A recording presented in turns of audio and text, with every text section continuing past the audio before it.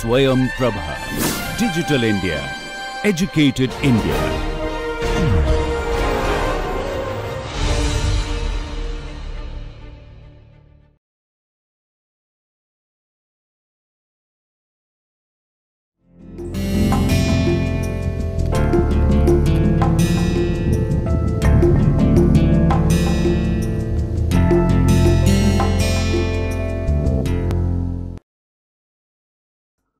Hello friends, welcome to the fifth lecture of the course ADR and Arbitration. This lecture is on the second part of our discussion on arbitration agreement. Now, if you recall in the previous lecture, in the previous session, I introduced the idea of arbitration agreement. We referred to section 7 to understand what are the essential attributes of a valid arbitration agreement.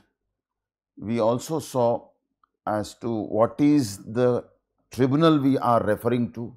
It is a private tribunal created by the parties on the basis of consent of the parties to pass an enforceable order acting in a judicial manner. So, that is the subject matter. I said arbitration agreement is the most important thing because unless you have that, you cannot start arbitration. I also mentioned if you remember that if you have an agreement, you will be compelled to go for arbitration because if you want to commit breach and want to go to some some court court is obliged to send you back for arbitration. So arbitration agreement cannot be breached. Or we can say the remedy for breach of an arbitration agreement is specific performance of arbitration agreement. We also saw the difference between an arbitration agreement and an agreement for expert determination the basic thing is that court while trying to understand the nature of the document in question will have to conduct an objective inquiry into the intention of the parties as to what parties must have intended at the time when they entered into the contract.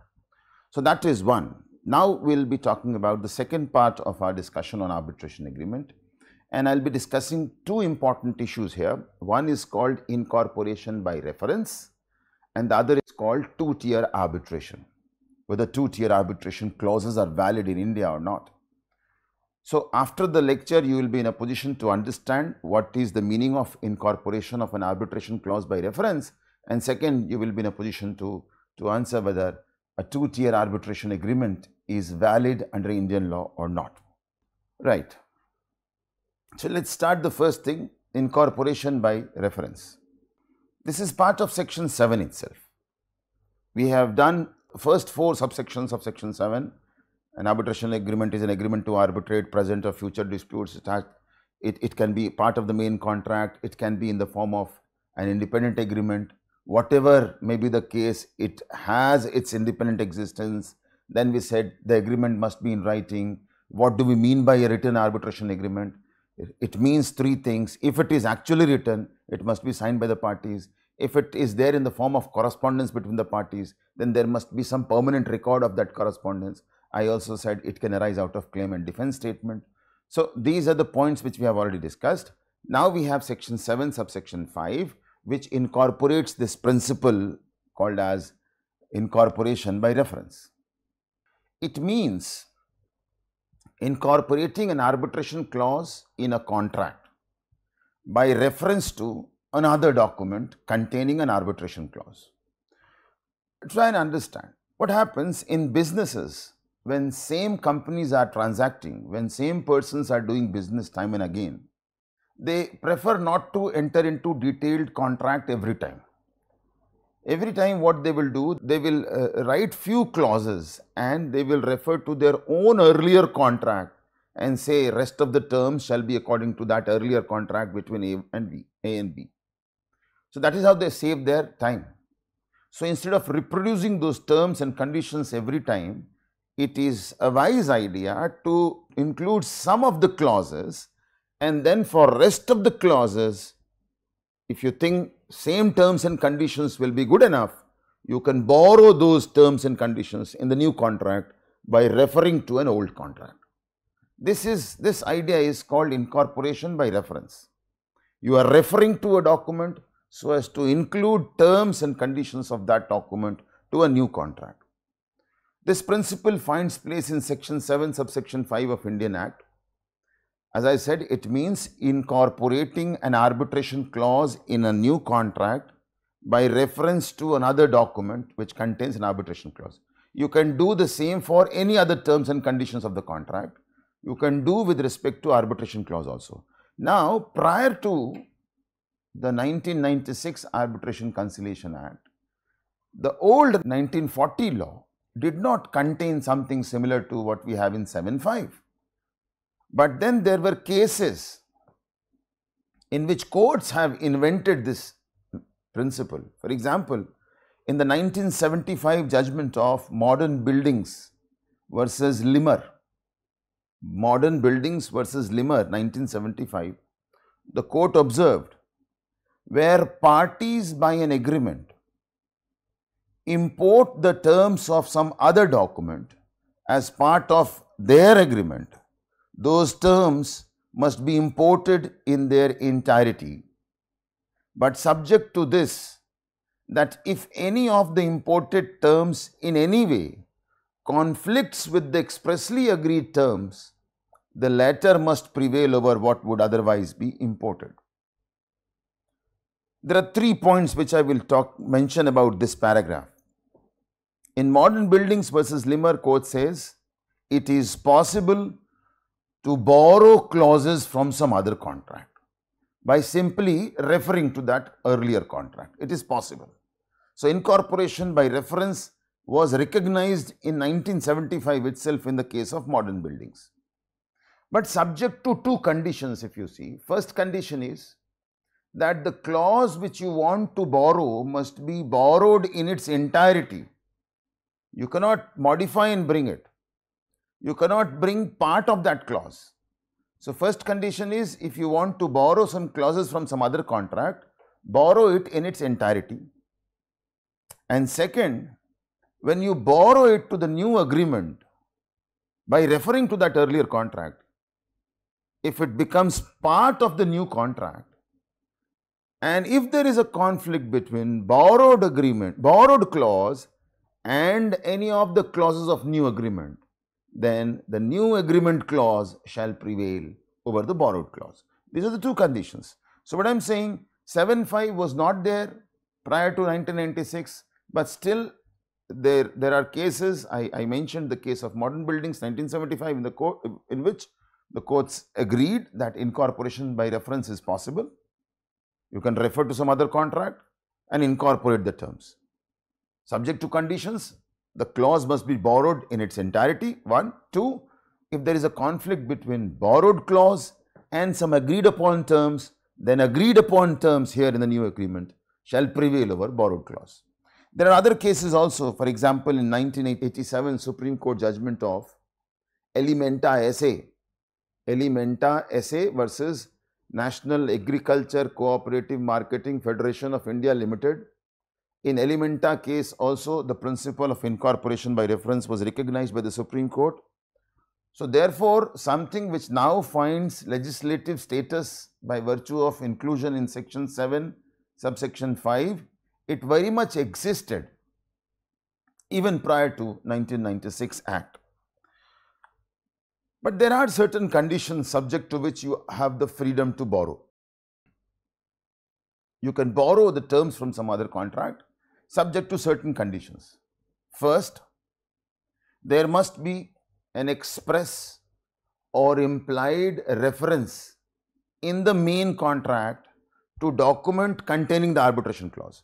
So, if your contract is document X, there must be reference in X about a document say Y from which you want to borrow the arbitration clause. There must be either express or implied reference in your new agreement. Reference of what? Reference of some other contract from which you want to borrow the arbitration clause. So, there has to be reference point number 1. 2. There must be words of incorporation. Words of incorporation which are sufficient to borrow the clause. What do I mean by that? In my agreement, I am writing that A will pay rupees X to B, B will deliver the goods to this, and then I say rest of the terms of the contract rest of the conditions of performance of contract shall be according to terms of contract A. So, there is reference and there are words of incorporation. So, there must be reference in the new agreement about some other contract, there must be words of incorporation. Third, the borrowed clause must be fit in the new context. The borrowed clause must be sufficient to resolve disputes arising out of this new contract. I will give you an illustration very soon. And the fourth is the borrowed clause must not be repugnant to agreed upon terms. This is already discussed in modern buildings versus Limmer. There must not be any inconsistency between borrowed clause and agreed upon terms. So, there must be reference, there must be clear words of incorporation, the borrowed clause must be fit in the new context, should be sufficient to resolve disputes arising out of new contract and fourth, there must not be inconsistency between borrowed clause and agreed upon terms. Subject to these conditions, 7.5 section 7 subsection 5 allows parties to incorporate arbitration clause from some other contract by referring to that contract. There is another case in the form of illustration of course, the case is Hamilton and Company, Hamilton and Company versus Mackie and Sons. I will be using two words here, one is called charter party, the other is called bill of lading. Charter party is an agreement. When you take a vessel on lease, when you take a ship on lease, you enter into a contract with the owner of the ship which is known as charter party. Let us keep it simple.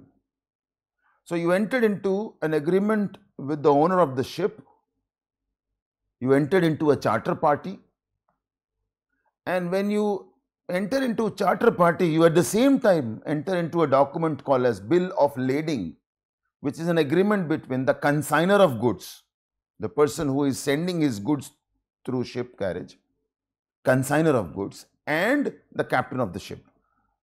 So, bill of lading is a document between consigner of goods and captain of the ship.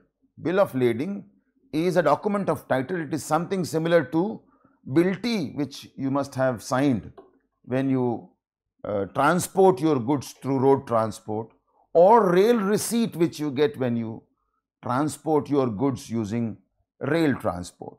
So, something similar to bilty or something similar to rail receipt is what we call as bill of lading. That is also a document of title. Whoever has that bill of lading will have the title on, on the goods. So, that is not uh, important for me. There were two documents in this case, one is charter party, the other is bill of lading. Bill of lading says all other terms after mentioning few clauses, bill of lading writes, parties agreed and wrote that all other terms and conditions as per charter party. So, A is the consigner, B is the owner of ship, C is the captain of ship. There is a contract between A and C which is called bill of lading and there is a contract between A and B which is called charter party. In bill of lading after writing few clauses parties agreed and wrote that all other terms and conditions are same as per charter party. So, therefore, for all other terms you refer to charter party see those terms the same will be applicable to bill of lading that is the idea. Now, a dispute arose out of bill of lading out of the agreement between A and C, the consigner and captain of the ship. When dispute arose, the same was to be referred for arbitration. But there was no arbitration clause in bill of lading. It says for other terms and conditions, look into charter party. So, therefore, we have to look into charter party. When you read the charter party, there is a dispute resolution clause. So, by, in, by reference this dispute resolution clause is incorporated in bill of lading. Now, you take these clauses, include it in bill of lading and read the bill of lading now. This bill of lading entered on this date, this bill of lading is party A is party B, bill of lading. go on, go on, go on, and then you have a clause. Any dispute arising out of this charter shall be resolved by way of arbitration. This is not charter, this is bill of lading. So, if you recall, I said the third point here, incorporation by reference, the conditions. The third point I mentioned that the terms, borrowed terms must be fit in the new context. The borrowed clause must be good to resolve the disputes arising out of new agreement. Now, in this case, the borrowed clause reads that any dispute arising out of this charter shall be resolved by way of arbitration. This is an absolutely misfit in the new context because the new document is not charter party, it is bill of lading. And we have already discussed that the clause cannot be modified and incorporated. The clause has to be incorporated, borrowed in its entirety. We mentioned this point in the case of modern building versus Limmer. So, therefore, the borrowed clause is misfit, it is not good enough to resolve disputes arising out of this new contract and therefore, the situation is as if there is no arbitration clause in the bill of lading, right. The situation is because the incorporation is not valid, the borrowed clause will not be considered as incorporated clause and therefore there is no arbitration clause. Thus, if a dispute arises, the parties do not have any option but to go for suit, but to go to a court and claim remedy, claim damages.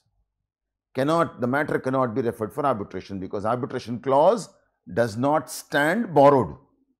Whatever was borrowed is misfit in the new context. Now, if you slightly change the our dispute resolution clause of the charter party, if I slightly change it, instead of writing that any dispute arising out of this charter, the same shall be referred to arbitration. If you write any dispute arising out of this contract, the same shall be referred for arbitration. And if you borrow it here in bill of lading, it reads any dispute arising out of this contract shall be referred for arbitration. It is good because bill of lading is a contract, charter party is also a contract. Therefore, therefore keep in mind refer to only those documents which contain an arbitration clause which will be good in the new context and then only you can say that your incorporation is valid. This is what I mean by incorporation by reference. There are few developments, I will talk about few cases here. We have understood what is there in section 7 subsection 5. We understand the case of modern building versus Limmer, Alimenta, SA. We understand the conditions subject to which incorporation by reference shall be done and the illustration of bill of lading and charter party. I am sure you understand. Messrs. Inox Wind Limited versus Messrs. Thermo Cables Limited 2018 Supreme Court. Now, what happened in this case is suppose I am a manufacturer of wind turbine generators and in order to manufacture my wind turbine generators, I need some cables which I will procure from you. You are the manufacturer and seller of those cables. Now, when I have to purchase those cables from you, there was a purchase order issued and according to the purchase order, the supply of cables was to be done in accordance with the terms mentioned in the purchase order. There are terms mentioned in the purchase order and the supply of goods, supply of cables has to be done according to the terms mentioned in the purchase order and also the standard terms and conditions that were attached to the purchase order. These are standard terms and conditions which belong to one party, the purchaser. These are standard terms and conditions that belong to one party. So, what is the story finally? The story is you will be supplying goods to me and the supply shall be done according to terms and conditions mentioned in the purchase order. Not only that, it shall be done according to standard terms and conditions. Those are standard terms and conditions of one party which have been attached to the purchase order. What happens generally is, if I am regularly procuring goods in order to prepare or manufacture the machines which I have to supply to my buyers, if I am regularly procuring material, instead of writing terms and conditions in every contract, what I will do, I will prepare my standard terms, my standard conditions. And I will enter into contract on the basis of these standard terms and conditions. So, whatever contract I do with any supplier, I will add these terms and conditions and say that these are part of the main contract. So, I do not write it again and again, I refer to the standard terms, but these are not standard terms of the industry. These are my standard terms on which I do business. So, therefore, supply has to be done according to the terms mentioned in the purchase order as well as my standard terms and conditions which are annexed thereto. Now, apart from other terms, one of the terms in the standard terms and conditions is arbitration clause. One of the terms in standard terms and conditions is dispute resolution clause. Now, what happened is you made supply of those cables and I discovered that there are cracks in the cables and therefore, I wrote to you that you will have to replace these cables. Suppose you are denying, I will like to invoke the arbitration clause because a dispute has come into existence. I want to refer that dispute for arbitration. Now, when I wanted to invoke the arbitration clause, you are saying that the purchase order does not have any arbitration clause, so therefore, the matter cannot be referred for arbitration. You need to have an arbitration agreement for arbitration. Since purchase order does not have it, you cannot appoint arbitrators, you cannot invoke any arbitration clause. There cannot be any arbitration between you and me. Now, when there is no consensus on appointment of arbitrators, what happens is, in case when there is no consensus as to how the arbitration must start, what should we do for appointment of arbitrators? The parties are not agreeing on some names. Then what happens? Either party can write to the Supreme Court or the High Court. Either party can request the Supreme Court or the High Court under section 11 and the Supreme Court or the High Court will appoint arbitrator for you. This is the mechanism we will discuss, we will have a discussion on appointment procedure also. Uh, maybe after one or two lectures, we will talk about appointment procedure of section 11. We will talk about it in detail, under what circumstances you will approach Supreme Court, under what circumstances you will approach High Court, all those things will come. So, the point is in the instant case, there was no agreement, there was problem. I am saying there is a dispute, I am referring to some arbitration clause in standard terms and conditions. You are saying that there is no arbitration clause even if there is a dispute because there is no arbitration clause. You cannot refer the matter for arbitration. I am suggesting a name, let us appoint Mr. X as the arbitrator. You are saying forget about Mr. X. We do not consider there to be any arbitration agreement in existence. There is no agreement at all. So, therefore, I requested the, the High Court, I requested the High Court to appoint an arbitrator. Now, High Court rejected my request on the ground that there does not exist any arbitration agreement. There is a purchase order, few terms and conditions are there on the purchase order between you and me and I have annexed my standard terms. Arbitration clause is part of my standard terms. I have written in my agreement that supply shall be done according to purchase order and the standard terms and conditions annexed thereto. I assume that I have annexed the standard terms and conditions, so therefore, dispute resolution clause, the arbitration clause has become part of the main contract. But High Court says, no, this is not good enough. You are saying supply shall be done according to terms and conditions annexed thereto that will not be sufficient to incorporate standard terms and conditions related to dispute resolution. The arbitration clause cannot be borrowed by making a general reference to some other document. The arbitration clause can be borrowed in this case only by making specific reference to arbitration clause. What High Court says, instead of writing that supply shall be done according to standard terms and conditions, this is a general reference to that document. If you wanted arbitration agreement to be borrowed, you should have written that dispute resolution clause shall be same as the one in standard terms and conditions. Make a specific reference to that clause. Since you did not make a specific reference, therefore, general reference to standard terms and conditions of one of the parties will not be sufficient and therefore nothing is incorporated. At least the arbitration clause is not incorporated in purchase order between contract between the two parties.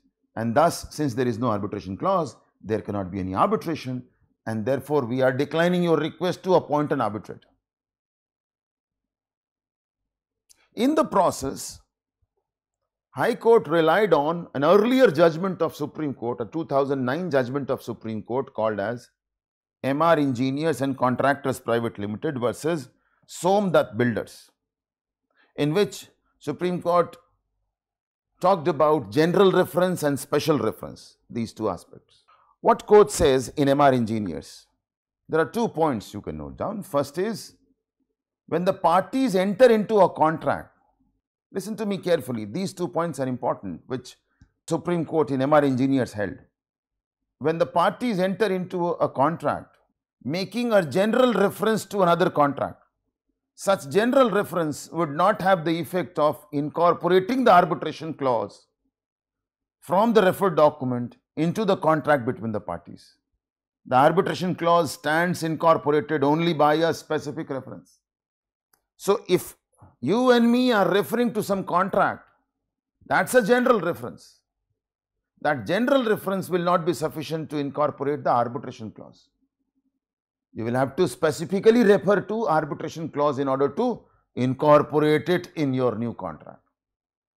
Second point, when the contract provides that standard form terms and conditions of an independent trade or professional institution will bind them, such terms shall be deemed to be incorporated by reference. You must have heard there are certain institutions which prescribe standard business terms. For example, uh, if, if I deal in coffee, if there is a seller and buyer of coffee, they will have to enter into a contract which complies with the standard terms of coffee board, for example. There are institutions as a coffee board, tea board. These institutions will have their standard terms and conditions. These are industry standards. Anybody doing business in these areas will have to do the business according to those standard terms and conditions of those institutions. Court says if you are referring to standard terms and conditions of institution, that should be sufficient. That is fine, that is acceptable. And a general reference to standard terms and conditions of an institution would be sufficient to borrow even the arbitration clause from those terms and conditions. Why? Because it can be presumed that anybody who is dealing in those goods must be familiar with standard terms of the institution working in that field. So, if it is coffee board, the standard terms of coffee board can be referred and any merchant dealing in coffee is expected to know those terms so, there are two points if you are referring to some other contract make a specific reference only then arbitration clause stands borrowed. Two, when you are referring to standard terms and conditions, standard conditions can be referred and if you want to bring arbitration clause, it is possible only when you make specific reference. But if these are standard terms of the institution to which both the parties are members and both the parties must be familiar with the standard terms, in that case general reference would be sufficient. So, the idea behind the, the discussion here is if these are standard terms of one of the parties, you don't expect the other party to know about these standard terms. And therefore, a general reference to these standard terms will not be sufficient to, in, to, to borrow the arbitration clause. However, if these are standard terms of an institution to which both the parties are members, then as you can expect them to know about the standard terms, even a general reference to these standard terms and conditions would be sufficient to borrow the arbitration clause. This was the judgment of MR Engineers and High Court in Messrs. Inox Wind Limited relied on, on MR Engineers to hold that a general reference to standard terms of one of the parties will not be sufficient to borrow the arbitration clause and therefore there is no arbitration clause and they rejected the petition request filed under section 11 to appoint an arbitrator. The matter goes to Supreme Court. Supreme Court discusses four illustrations. First, if you see there are four illustrations, these are mentioned here. A and B incorporate standard terms. Now, these standard terms can be of any institution to which both the parties are members or can be of one of the parties. Standard terms of say seller. So, A and B in their contract incorporate standard terms of institution or one of the parties. Second, A and B incorporate terms previously agreed between A and B themselves. So, me and you are writing a new contract, we already had a contract, we did business in past. So, we are not writing everything again, we are referring to our own earlier contract. It is our own earlier contract, both of us are presumed to know about it. Third illustration, A and B incorporate terms agreed between A and C or B and C. A and B, you and me, A and B incorporate terms from a contract between either A and C or B and C. And fourth, A and B incorporate terms agreed between C and D. Out of these four situations, Supreme Court in Messrs. Inox Wind Limited said that general reference would be sufficient in first two cases. See, this is an important step ahead. Court moved ahead of what was held in MR engineers. The first point, as I said, has two aspects. A and B incorporate standard terms of institution that is permissible in MR engineers itself. A general reference would be sufficient to incorporate arbitration clause. Now, in Inox, court moves a step forward and says if A and B refer to standard terms of one of the parties, even in that case, we will accept general reference to be good enough to borrow the arbitration clause. So, that is the change in approach. So, for first point, for second point, it is now presumed that parties know the referred terms and conditions and since they are familiar with referred terms and conditions, the referred terms and conditions are borrowed to the new contract even by general reference. So, therefore, in first two cases general reference is good enough to borrow the arbitration clause, but in last two cases where A and B are referring to a contract between A and C or B and C and A and B are referring to a contract between C and D. These are the two cases which according to the Supreme Court in Inox Wind Limited case, in these two cases general reference would not be sufficient to borrow the arbitration clause. In order to borrow the clause, you will have to make a specific reference. First two cases are called as single contract cases where last two situations, point number 3 and 4, are not single contract situation. There is one more development taking place happening here. In 2022, Karnataka High Court in a case called as Best Pay Solutions Private Limited versus Messrs. Razorpay Software Private Limited. A party can invoke the arbitration clause contained in an agreement with respect to the dispute arising with a third party under another agreement. If both the agreements refer to each other and form one composite transaction. What I am trying to say here is, go back to the previous slide, look at point number 3, A and B incorporate terms agreed between A and C or between B and C. So, we are referring to an earlier contract where one of the parties to this new contract was a member. One of the parties of this new contract was a party to that earlier contract. In, in MR engineers, in Inox, in both these cases, Supreme Court said, in order to borrow the arbitration clause, here a specific reference is required. Now, in the Karnataka High Court judgment, which I just mentioned 2022, the Karnataka High Court says, even in this situation, general reference would be sufficient. Even in this situation, general reference would be sufficient provided it is a composite transaction. Provided it is a composite transaction, meaning thereby performance of this contract also depends on performance of this contract. So, uh, if I am making some machine, I am relying on this earlier contract between one of the parties and the supplier for procurement. So, A is manufacturer of machine, B is supplying some instruments. So, there is a contract between A and B. B is procuring some raw material from C. There is a contract between A and C. There is a contract between B and C. B is referring to his responsibility towards me in his contract with C and performance of this contract decides performance of this new contract. So, if these two are interrelated, if one is linked with other,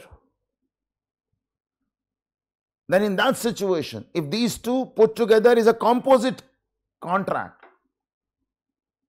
in that situation, it is possible to refer to a contract between B and C in a contract between A and B. And even in that case, general reference would be sufficient to borrow the arbitration clause. So, what I am saying is, even in case of point number 3, now the law is going to be diluted and in first three points a general reference to some contract would be sufficient to borrow the arbitration clause. It is only in the fourth point that you need to make a specific reference to arbitration clause if you want to borrow arbitration clause to the new agreement. This is law on incorporation by reference. So, we have understood what is there in section 7.5 it incorporates a principle of law of incorporation by reference. It was earlier there in the form of case law, modern building versus Limmer, Alimenta SA. Then we saw how MR engineers, in the case of MR engineers, Supreme Court laid down the idea of general reference, specific reference. And finally, in Inox, how in the case of Inox, how Supreme Court expands the principle and out of four illustrations, now we understand in first three, general reference would be good enough to borrow the arbitration clause. It is only when A and B are referring to a contract between C and D that you need to have specific reference to arbitration clause in order to borrow it. The second aspect which I wanted to take up is two-tier arbitration agreement, uh, the validity of two-tier arbitration agreement. And this question arose in the case of Messrs. Centrotrade Minerals and Metal Incorporated versus Hindustan Copper Limited 2016. In fact, it arose before a two judges bench and because a serious question of law was involved, so therefore the bench referred it to a larger bench and that larger bench decision came in 2016 which is reported in 2016 SCC online Supreme Court 1482. Now before we talk about two tier arbitration let us see what was that clause which was in question in the case of Centrotrade Minerals and Metals Incorporated versus Hindustan Copper Limited. I will read this clause, you, you listen to me carefully because we will examine whether it is a valid agreement or not, whether such agreements are acceptable under Indian law or not. It says all disputes or differences whatsoever arising between the parties out of or relating to the construction, meaning and operation or effect of the contract or the breach thereof shall be settled by arbitration in India through the arbitration panel of the Indian Council of Arbitration in accordance with the rules of arbitration of Indian Council of Arbitration. This is an arbitration clause which provides for institutional arbitration. It refers to the institution called as Indian Council of Arbitration. It says that the arbitration panel shall be appointed by the Indian Council of Arbitration in accordance with the rules of arbitration of Indian Council of Arbitration. This is part 1. So, in case any dispute arises, the same shall be referred to arbitration and arbitration shall be done according to rules of Indian Council of Arbitration. Now, that is not problematic. The second part creates trouble because it says if either party is in disagreement with the arbitration result in India, the first part, whatever is the result of arbitration done in India according to the rules of Indian Council of Arbitration. If either party is in disagreement with the arbitration result in India, either party will have the right to appeal to a second arbitration in London, UK, in accordance with rules of conciliation and arbitration of the International Chamber of Commerce in effect on the date hereof and the result of this second arbitration will be binding on both the parties. So, what is the real issue here? Parties created an appeal mechanism within the arbitration clause. Parties created a two tier arbitration clause.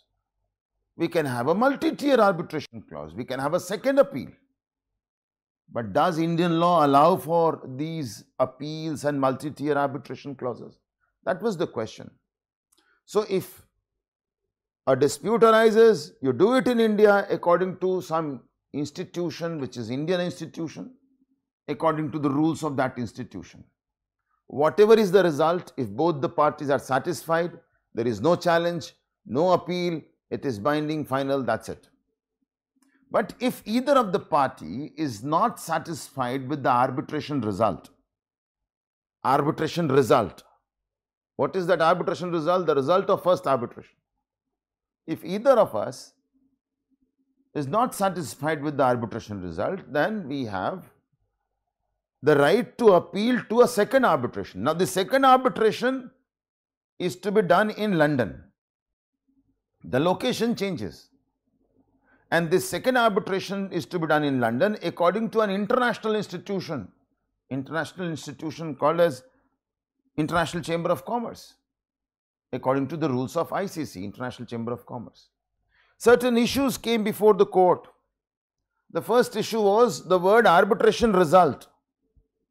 As mentioned here in the previous slide, you see in the second paragraph, if either party is in disagreement with the arbitration result in India, the argument raised was the decision in the first place, which is to be made by an Indian institution, is not an award. It is not an award. Because had it been award, they would have used the word award in the arbitration clause. It is something other than award. So, once the first stage decision itself does not lead to an award, the whole process cannot be called as arbitration. That was an argument. But court says that arbitration result, even if it is not called as an award in the arbitration clause, is still an award. Why? Because it is passed by an arbitral tribunal to be appointed by an institution, arbitral institution, after following rules of arbitration. So ultimately the result has to be an award. You call it an arbitration result or whatever. So it is an award. If you don't call it an award, then how will you enforce this arbitration result? Because there is always a possibility that none of the parties go in appeal. If parties do not go in appeal, then this remains the final decision which is to be enforced. So, if you do not call it an award, how will you enforce it? Because under Arbitration Conciliation Act, only an award can be enforced. Therefore, the arbitration result of first stage arbitration is also an award and if it is not challenged in second stage arbitration in London, then that result becomes the, the final binding result and therefore in order to enforce it you will have to accept it as an award. So that ground is that argument was dismissed. There are significant challenges. For example, it was argued that appeal can only be statutory. Appeal mechanism can only be created by statute. There cannot be contractual appeal mechanism. You find possibility of appeal in CPC. Can parties enter into a contract and provide for appeal mechanism? Court said yes. Court said yes because we are not talking about litigation. In litigation, you cannot increase number of appeals or reduce number of appeals by contract because the appeal provisions are fixed in Code of Civil Procedure. When can there be review? When, when can there be appeal? When can there be revision? All these aspects are fixed, cannot be modified by contract. But we are not talking about litigation and therefore there is nothing in Arbitration Conciliation Act which prohibits parties from entering into an agreement which provide for appeal. So therefore, this ground, this argument that you cannot have appeal mechanism unless it is provided by statute is not acceptable with respect to Arbitration and Conciliation Act. It is good in case of litigation. The third argument was two-tier arbitration agreement is not sanctioned by the Act and in fact it is prohibited by the Act. There are certain observations of Supreme Court in this case. For example, court says that the UNCITRAL working group, the UNCITRAL working group on international contract practices has observed that there is wide support for the view that award may be appealed before another tribunal. It is not something entirely new which we are talking about. In past also, there are observations where bodies have observed that there is support in view of allowing appeal in arbitration. Further, the working group also observed that it is prevalent and therefore you don't require a provision in UNCITRAL to legalize it. That means it is already prevalent. And since it is not prohibited in UNCITRAL model law, so therefore it can be validly continued. It is prevalent in commodity trade for many years. Traders incorporate arbitration clause in which they provide for appeal mechanism. How can it be said that it is not permitted in Arbitration Act? How can it be said that it is prohibited? Now, if you recall, I said that initially the matter was listed before a smaller bench of two judges, and both the judges, in their opinions, have written when they referred the matter to a larger bench, in their opinions, they have referred to good number of high court cases in which high courts have allowed such two-tier arbitration agreements to be valid arbitration agreement under Indian law. Now there are references where UNCITRAL working group has observed that this is prevalent, this is popular, there is support for two-tier arbitration. There are instances in India where high courts have permitted two-tier arbitration. Now when parliament was making arbitration conciliation act, we don't challenge the legislative wisdom of Parliament. When Parliament was enacting the Arbitration Conciliation Act 1996, it knew about the practices which continued. It knew about those high court decisions of, of a period prior to 1996, which were identified by uh, the two judges bench of the Supreme Court. Parliament also knew about it. Parliament also knew about, had, had, had access to the observation of the UNCITRAL. Despite knowing that this is prevalent, Parliament preferred not to prohibit it in Arbitration Conciliation Act means what? It is not prohibited. If they wanted to prohibit it, let us examine the legislative intent. If Parliament really wanted to prohibit two-tier arbitration, they could have done it by using as many words, which they have not done, despite knowing the observation of UNCITRAL working group, despite knowing about those high court cases where they have allowed it. This also proves that it is not prohibited in Arbitration Conciliation Act. It was also argued that the Arbitration Conciliation Act 1996 is a self-contained code and anything not provided for is not permitted. This has been observed by the Supreme Court in 2011 judgment Fuerst Day Lawson Limited versus Jindal Exports in which Supreme Court has held that Arbitration Act is a self-contained code and anything that is not provided for is not permitted. So therefore, in order to see whether it is permitted within the act, you will have to see whether it is expressly mentioned, provided. This argument cannot be sustained. Yes, Arbitration Conciliation Act is a consolidating act. It is a consolidating act.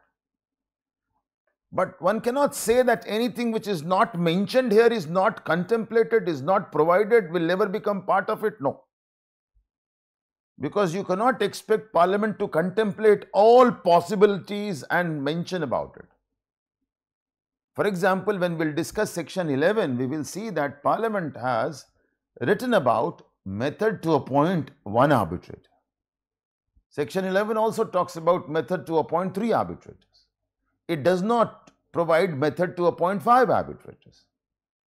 Should we conclude that therefore there cannot be five arbitrators? Or should we extend the method of three arbitrators even in cases of five arbitrators? Yes. So therefore you cannot expect the parliament to visualize and contemplate, anticipate all eventualities and provide for all those things. No, it is not possible. There is another judgment of 2002 called as ITI Limited. This is Siemens Public Communications Network Limited 2002. This was a case in relation to applicability of provision of CPC. This is a case in relation to applicability of provisions of CPC. It was held that since there was no express provision excluding the code, it shall apply. So, there are conflicting opinions. There is one judgment which says it is unless it is expressly provided for, it is not permitted. There is another judgment which says as long as it is not excluded, it is permitted. So therefore, what court says, court relies on the second judgment, the ITI limited judgment and says that even if we accept that it is a complete code, still it is difficult to accept that something which is not prescribed is prohibited. No, that is not acceptable. What we can say is something which is not prohibited is permissible, is the acceptable proposition. And since two-tier arbitration agreements are not prohibited, Parliament has preferred not to expressly prohibit it. Means what? It is permissible, it is allowed. There are other grounds under section 34, under section 35, but court dismissed those arguments based on section 34 and section 35. So therefore, there is no bar in Arbitration Conciliation Act. There is no prohibition against two-tier arbitration clause. The fourth point was this would mean violation of public policy of India. Allowing two-tier arbitration clauses would mean violation of public policy of India. Meaning of public policy of India has changed over the years. But when this case was decided, the meaning which we had, I will mention that meaning. Violation of public policy of India means violation of fundamental policy of Indian law. No policy of Indian law is going to be violated by two-tier arbitration, court says. Second, Violation of public policy of India means violation of interest of India. Interest of India in international context, economic interest, political interest. Again, this is not acceptable. Allowing two-tier arbitration agreement will not violate any of the interests of India. Third, it is against justice or morality. No, two-tier arbitration clause is not immoral. It is not against notion of justice. Fourth, is it patently illegal? Court says no. So, therefore, two-tier arbitration clause is valid because it is not prohibited by any of the provisions of the Act. It does not amount to violation of public policy of India. What we discussed in this session is there are two important principles. One is principle of incorporation by reference and we also saw how this principle was expanded in the case of Messrs. Inox. The second aspect we discussed was examining validity of two-tier arbitration agreement. Court has held such agreements to be valid. In the next lecture, we will talk about section 8. I have already mentioned that if there is no agreement, there cannot be an arbitration. Second point, if there is an agreement, there has to be arbitration. This second point will be discussed in the next lecture. That is all for this session. Thank you very much.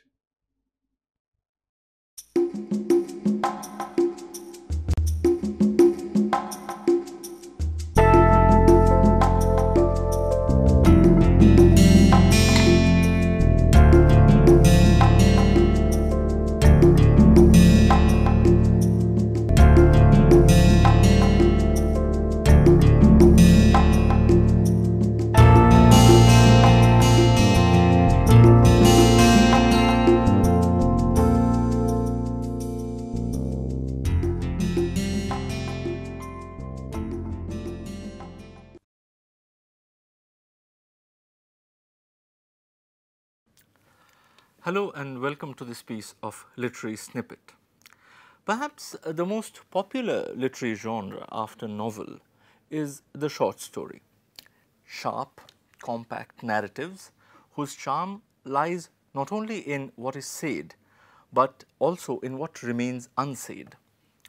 Today I will be reading one of the shortest instances of a short story that I have ever encountered and indeed the very charm of this particular story that I am going to read out today lies in the way it abruptly ends. It is an ancient tale from Mesopotamia which has been retold by several authors among whom the name of Somerset Maugham stands out. Uh, the adaptation that I will be reading out is perhaps the closest to the one that Maugham wrote. The story is titled in all of its adaptations almost as Appointment in Samarra. Here is the story. A merchant in Baghdad once sent one of his servants to the market. The servant was supposed to buy provisions for the merchant, but when he returned, he came back empty handed. Indeed, the servant had all gone white and trembling with fear, he told his master that he had met death in the marketplace. When I entered the market, the servant said to his master, I was jostled by a woman, and when I turned to look at her, I saw that she was death. I am very scared, master, because death looked at me with a threatening gesture. Can you please lend me your horse so that I can fly away from Baghdad to the town of Samarra and thereby escape death? The master, being a good man, gave his servant his best horse and saw him gallop off to Samarra to escape death. Then the master himself went to the marketplace and confronted death. Why did you make a threatening gesture to my servant? asked the master to Death. And Death replied, It was not a threatening gesture. Rather, it was a start of surprise. I was astonished to see your servant here today because this evening I have an appointment with him in Samarra. See you in the next episode of Literary Snippet.